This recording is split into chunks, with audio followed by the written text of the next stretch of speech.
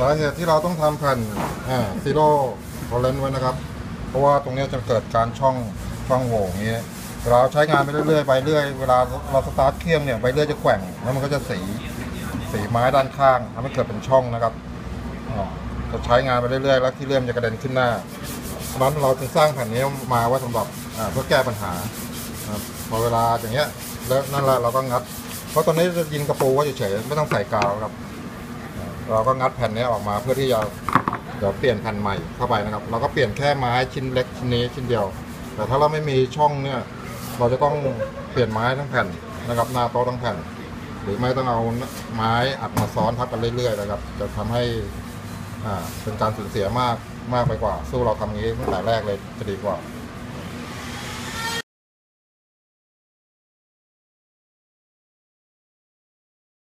ตอนต่อไป อ่าเราก็จะเจาะนะครับเจาะตัวที่เป็นเราเรียกว่าแผ่นอ่าแผ่น zero นะครับเดี๋ยวเราจะเจาะเป็นแผ่นเป็นช่องไว้ตรงนี้แล้วก็ทำ jig ตัวนี้จะเป็น jig นะครับ ก็คือ เพื่อที่อ่าม้าตรงนี้จะเป็นตำแหน่งที่เราเราเตอร์วิ่งมานะครับ เดี๋ยวตอนตีจะเห็นภาพนะครับ เราก็วัดจาก จากตัวริมนะครับวัดจากตัวริมตัวนี้เข้ามาสามเซนครึ่ง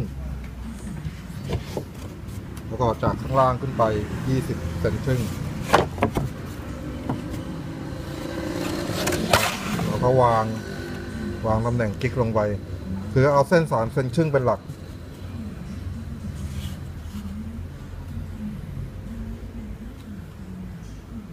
อะปืนยิง เราได้แล้วยิงเลยอ่าวางเอาเส้นเป็นหลักเส้นไหนนะ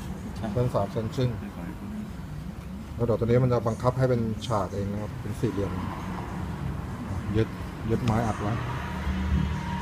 ได้พี่อะไรยิงนี่อันเดียวอันเดียวอะยิงไปยึดตัวนี้ก่อนเพราะตัวนี้มันลอยตัวนี้มันเป็นโต๊ะยึดตรงนี้ถ้ายึดตรงนี้ไม่มีประโยชน์เดี๋ยวไม้ตัวนี้เลื่อนแล้ว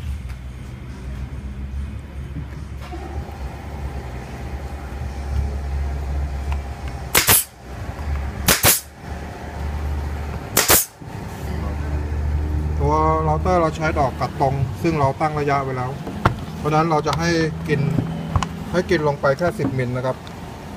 กินลงไปแค่ 10มิลบวกกับตัวไม้อัดตัวนี้ด้วย เราต้องการเอาไม้ชั้นหน้าออก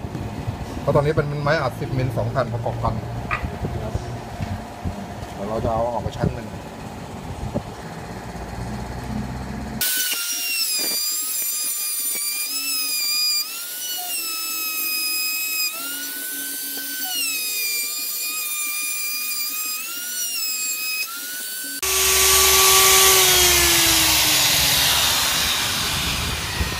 เกตตอนที่เราตีเราเตอร์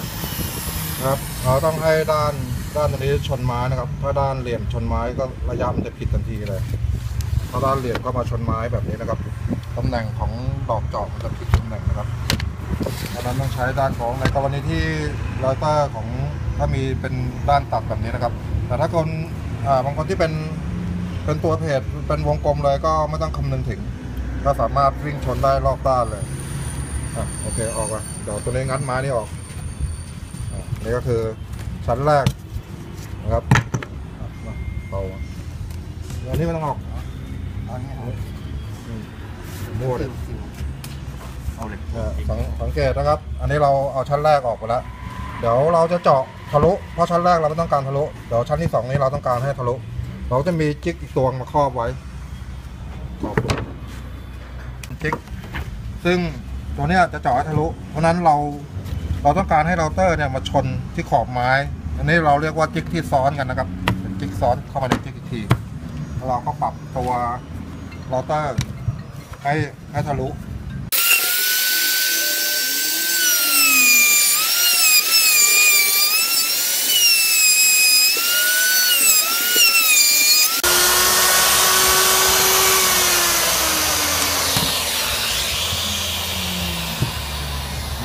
เพื่อพี่จะให้ตัวนี้เป็นบ่าเป็นบ่ารับแผ่นครับ